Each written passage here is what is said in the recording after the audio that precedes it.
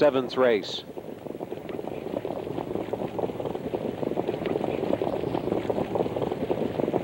Field of the seventh is the fourth 2001 elimination of the Metro Stakes.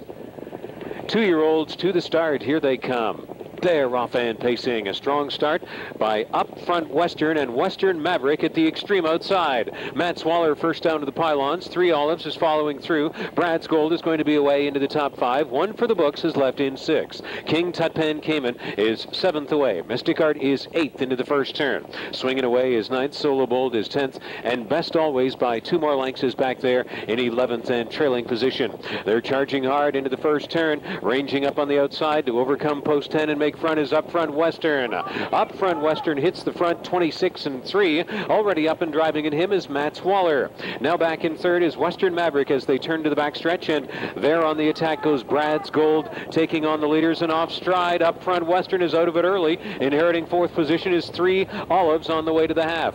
From following through, one for the books is now two more lengths back in fifth. King Tut Pen Cayman is sixth. Mystic Art is seventh, swinging away eighth. Solo Bold is ninth. Best Always was tenth. And after the break, up front, Western is out of it 55 and 1. They battled out the half. Three Olives moves fourth to first. Onto the final turn. Brad's Gold surrendered the lead. Sits along in second, and Matt Swaller not far off from third. There goes Western Maverick on the attack again. This brings out Matt Swaller onto the final turn. One for the books is on the outside from fifth. Saving ground. This is swinging away. Sixth at the inside. King Tutpan came in his seventh. Saving ground eighth was best always. Mystic Art is ninth.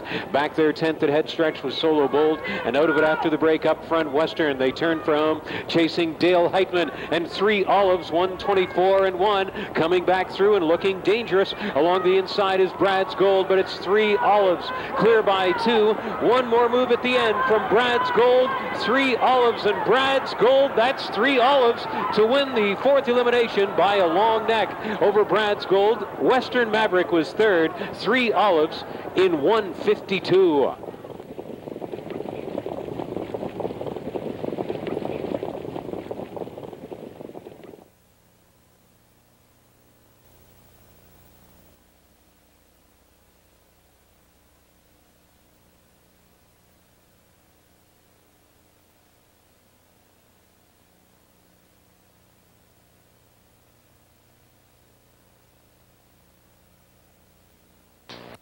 Winner of the fourth Metro Stakes elimination, number one, Three Olives.